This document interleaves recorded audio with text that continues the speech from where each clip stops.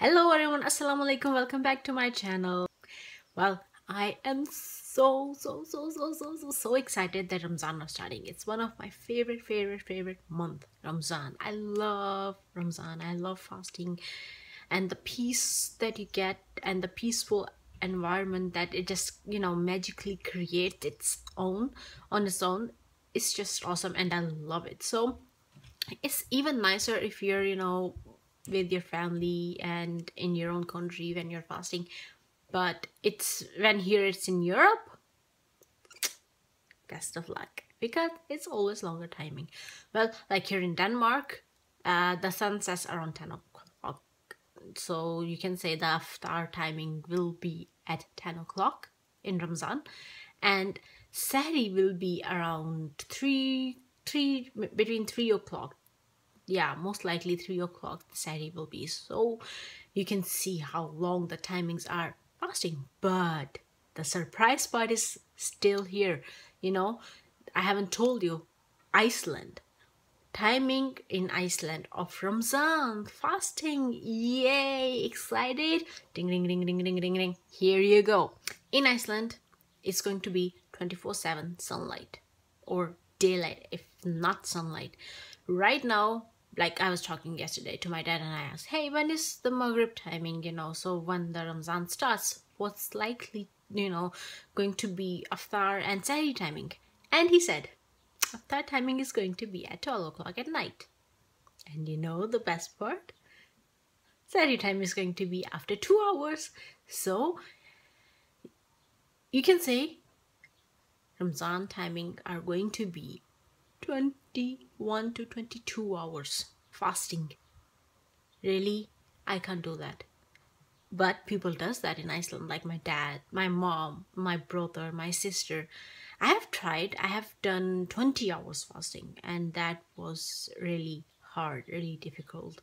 So i don't know this time i'm here in denmark so it's going to be around 18 hours maybe but it's going to be exciting though. I have never tried 18 hours. But you know, it's also the fun part when the Ramzan are in December between uh, September to January, February, March. Ramzan timing are the best timing then.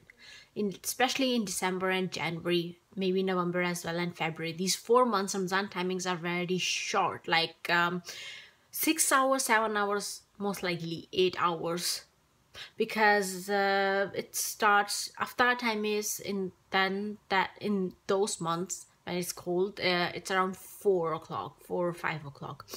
And Sahri timings are it's around eight o'clock in the morning seven eight o'clock in the morning. So in Ramzan summertime in Iceland is difficult but it's not hot so it gets easier. You you don't get dehydrated like in other countries Muslim countries that you get dehydrated so much in you know in summertime Ramzan that's it gets so difficult.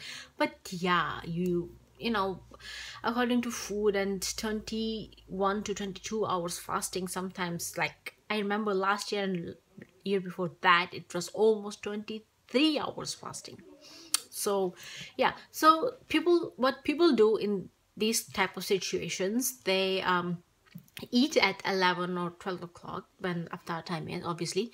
And then when the sahri time is they just either don't eat or they just eat very little at after after time and then they eat properly at sahri time. So it's like eating a one meal at you're having your sahri and aftari at the same time and that is it. So you can say it's only one meal in 24 hours that you eat and the rest you're fine. Yeah i know it's difficult but that's how it is you know when people want to fast and if they love fasting they will do that. But you know islam is not so strict. So they it is it is said that if you can't fast that long you can skip. And then you can continue fasting like if I would be living in Iceland, I would not fast this long. Never. I can never do it.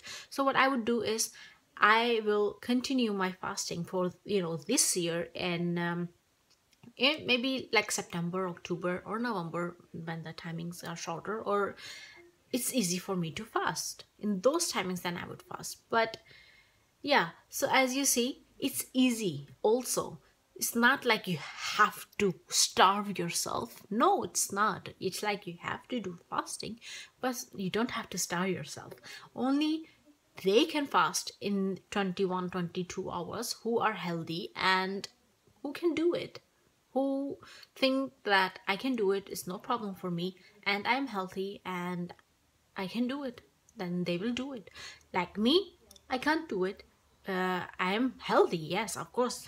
Alhamdulillah, I'm healthy. But I feel like 22, 21, 22 hours, eat nothing, and then suddenly eat, and then just eat once a day. That is, I can't do that. That is too much for me to handle. So, but here in Denmark, uh, I don't know, let's see, it's going to be around 18 hours fasting, I guess, and that I can do. I can do that 16 to 18 hours. That is not a problem, not at all. I have done that before in Iceland many times, and that has always come very nicely. So I am going to do that.